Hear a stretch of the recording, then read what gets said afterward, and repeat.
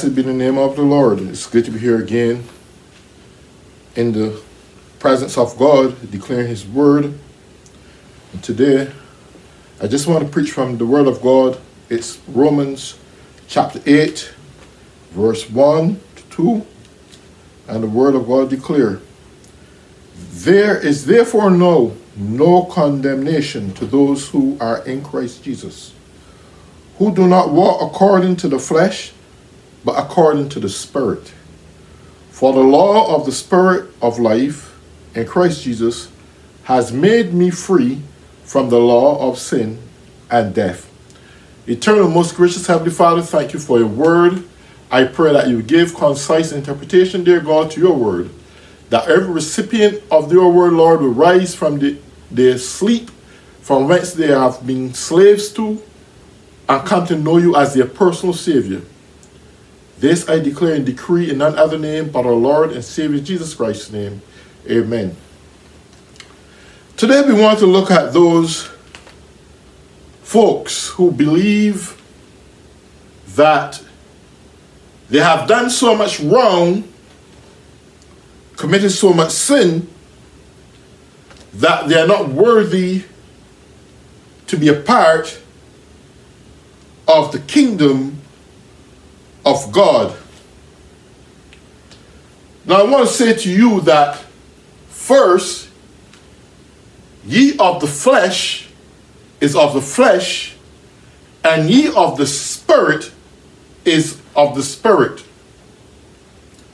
When Nicodemus told Jesus Christ, in other words, when Christ told Nicodemus that he must be born again, Nicodemus asked a question Should a man entered his mother womb for the second time and be born again? And Christ answered, Ye of the flesh is of the flesh, and ye of the spirit is of the spirit. Now, the flesh is a through and thorough representation of sin.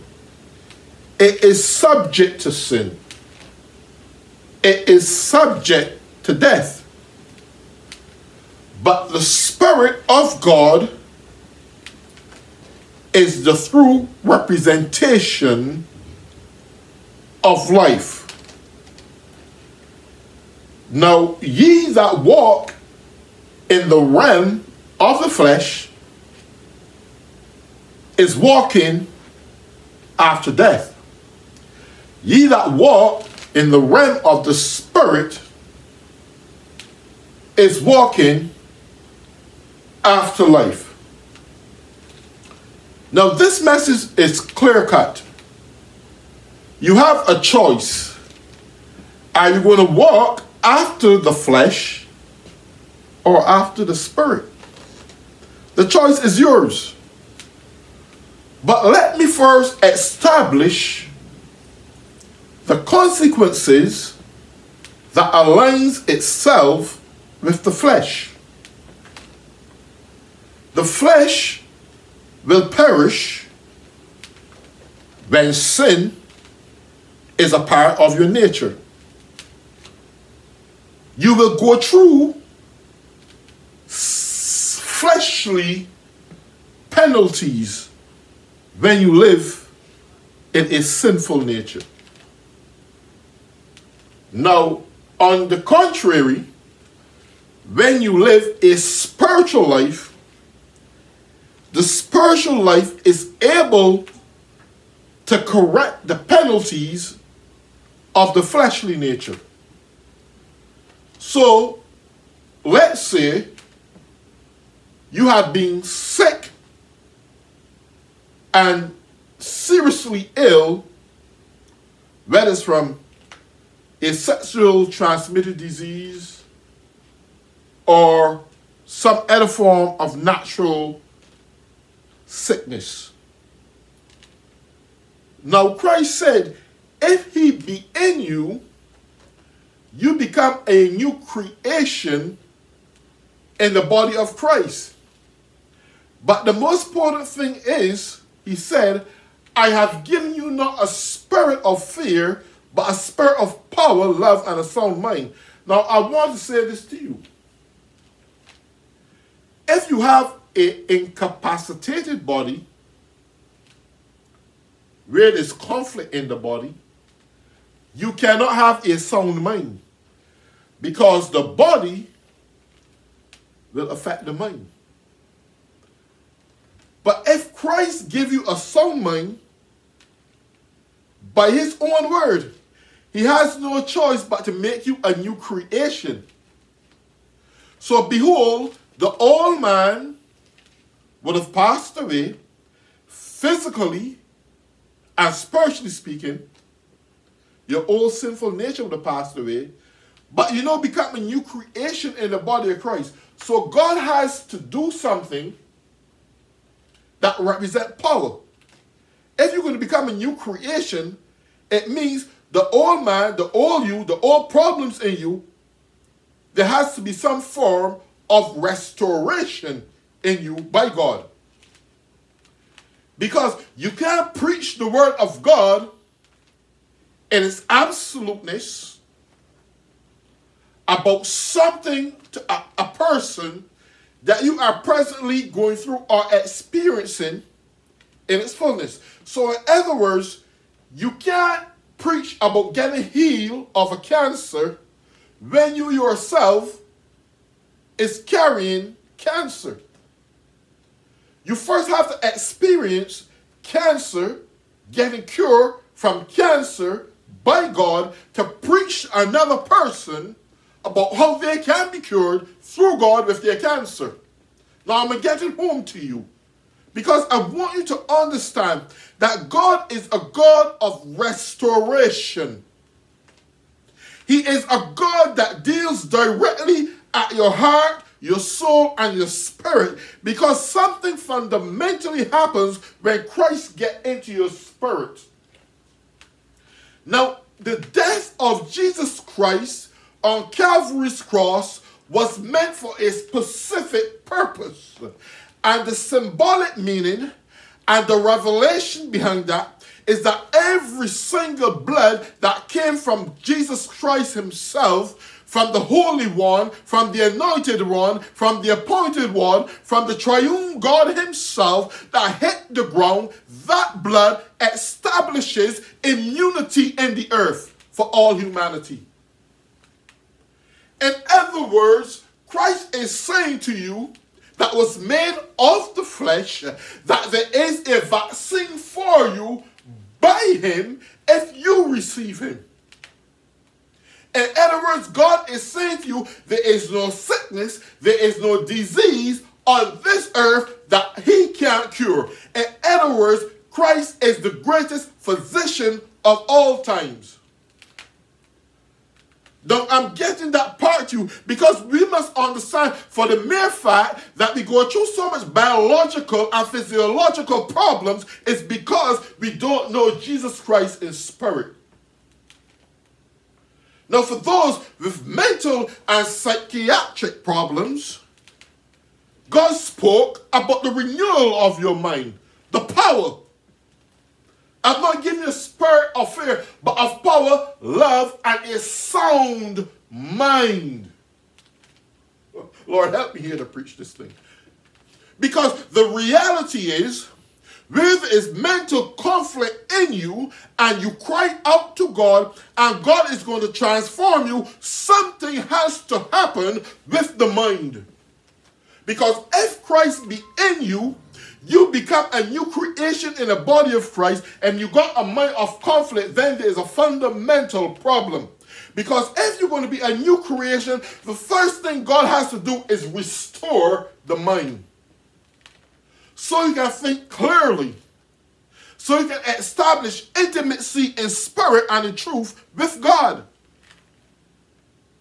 So God is telling you that all your earthly problems, He has the answer in His hands. God is saying that you are suffering things. You are going through physical problems. You're going through spiritual problems simply because you are lacking vision. And the word of God declares, where there is no vision, people will surely perish. And we live in a world today. Lord, help me to preach this.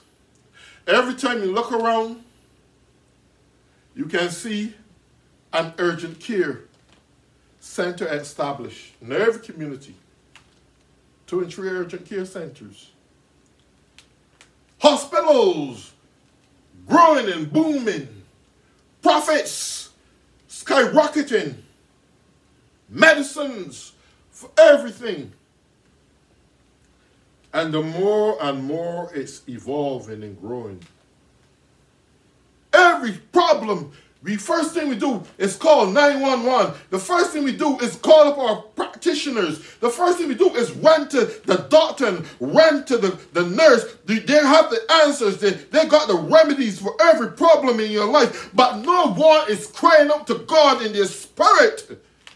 And this is the problem. And the devil is sitting there and is laughing and saying, Oh, I got them.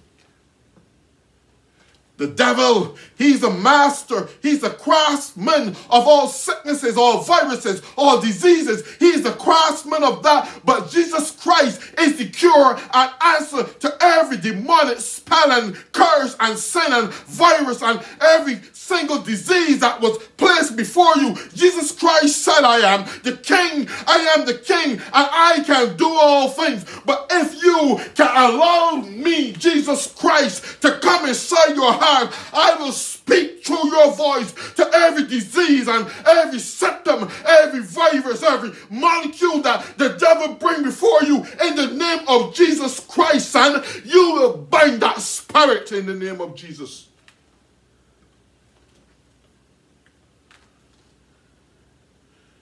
You must understand who you are in the spirit. There's no condemnation. oh, help me here, Lord, to those who are in Christ. You see, when, when you are possessed with the Holy Spirit, and I want to make this clear, because there are those who are demon possessed. And what, what demon possession does it alters your body's chemistry. It alters your hormones. It alters you. And, and that is why you can got a situation in life where people can born, men can born feeling like a woman or a woman feeling like a man, or a, a, woman or a man just messed up, don't know what there is. This, this is the problem. This is what the devil do to your mind. He bring conflict to your mind. And then we say, but I, I, I feel like a woman. I need a man. You're a man. I feel like a woman. I, I feel like a man, but oh, I still feel like a woman too. I look like a man, but feel like a woman too there's confusion, this condemnation, and, and it's reality. This has been lingering on for generations to generations. People murder people and they come back to themselves and, hey, I didn't kill anyone. What are you talking about? It's reality. Demon possession destroys humanity, destroys the minds of humanity, destroys their soul, destroys their spirit. But God, He restores. He restores. And with that restoration comes power, it comes dominion, it comes authority weren't called to be victims of the flesh. The flesh. It has a lifespan. Your spirit don't. And while you are existing in the flesh, you must understand that you have an obligation and that obligation is to live the life that Jesus Christ has set forth in the flesh for you to live. The life that the first Adam have never fulfilled. We all says we love God. We all says I do my due diligence. It is turmoil. Turmoil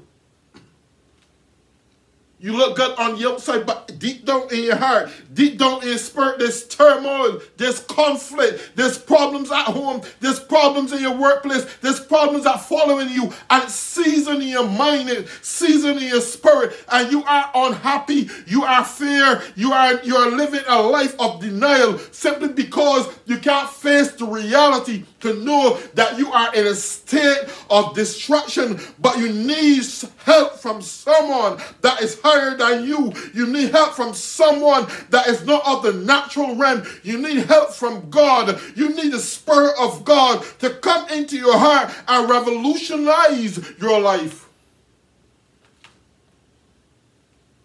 You need help. You got the power not only to transform you, but to transform your community, your household, your workplace, your school. It doesn't matter what. God had allowed you to go through some conflicts that you will come to know Him. No, God didn't put the conflict on you. The devil did. But God wants you to understand the penalties of the earth when there's a resistance from worshiping Him in spirit and in truth. The penalties of the earth that come to steal, to kill, and to destroy the plans of the devil, the artistry and the craftsmanship of the devil is so unique that you will never see when it's coming until you fall in his arms, till you fall in his snares, to fall in his traps, to fall in his footsteps. You will never see when it's coming because his craftsmanship is well deployed and structured to destroy humanity. And until we come to know God in spirit and in truth, we will always be victims to the flesh. And we will die victims to the flesh We recall called, even in our trials, in our tribulations, even in our turmoil, when we hit rock bottom, when we hit the worst part of our life, we were called in that dimension that we will rise up from the rock bottom, from the pits of hell, and glorify God. It doesn't matter what valley of shadow of death you are walking through, Jesus Christ is there with you. He been there first. But my God is saying in this time and season, for if you shall hold on upon my hand, and if you shall focus your eyes upon me, and if you shall open your heart and let your spirit intimately come combine with mine, for the word of God declare that you will be a conqueror in every given situation of your life, that there no weapon by the enemy will prosper against you, but you shall be a victor in every circumstance and you will see the glory of God showing up in your life. This is the hour that you give close attention to who you are as a spiritual being. Who you are as a spiritual being. We were living in the flesh from time we born. We get up, we brush our teeth, we go to sleep at night, we go to school, we go to work, we buy fancy clothes, we buy fancy houses, we buy fancy motor cars, and we take plane rides, we visit other places, and all this time we're doing all this, there's no time we take out to spend intimate quality time with the Holy Spirit, and our spirits are starving and our souls are hungering for for righteousness. Our souls are hungering for peace and mercy and compassion. Our souls are hungering to get rid of all of the bondage and turmoil and conflict. But we don't seem to understand that unless you present your body a living sacrifice, holy and acceptable before Jesus Christ, unless you can do that, there is nothing God can do for you. But when you succumb to the Spirit of God and you start to bring your body into position and poise yourself to be a recipient of God's word and to entertain the Holy Spirit in your heart and to understand it is Him who has made us and not we ourselves. And until we understand that it's Christ is the person who is in dominion and power and the authority, and Christ is the King of kings and Lord of lords, and He's the one that to be exalted and the one to be exalted and the one to be magnified and the one to be glorified and the one that we give praise and we give worship to until we understand that He is the person we give admiration and adoration to, until we know how to get down on our knees and praise and worship God in our spirit from the bottoms of our heart and give God the thanks and give God the glory that we can get up and breathe day in and day out. And until we can understand that it's God who's prepared for us every day with fresh air and food to eat and clothes to wear, until we can thank God for what He's doing in our lives, until we can worship God in spirit and in truth, and not it is Him who has made us, and not we ourselves. Until we can do that, we are nothing more but sounding brass and tingling cymbals, thus saith the Lord Jesus Christ of hosts. Until we come to know Christ as a personal Savior and worship Him in spirit and in truth, we are nothing more but sounding brass and tingling cymbals. Get rid of the old carnal fleshly nature and allow Christ, the Spirit of God, to get inside of you that you can do all things that through Christ who strengthens you until we come to that point in life that we know it is God is the King of Kings and Lord of Lords. That is the place we need to come to in this time and season. Wake up, sons and daughters of God. Don't be a victim to the flesh. Oh, help me here, God. Too long we have struggled in turmoil, conflict, pain.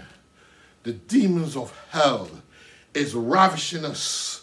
The demons of hell is destroying our families. The demons of hell is ripping havoc and turmoil and all kind of problems and you can't do nothing about it because you are weak.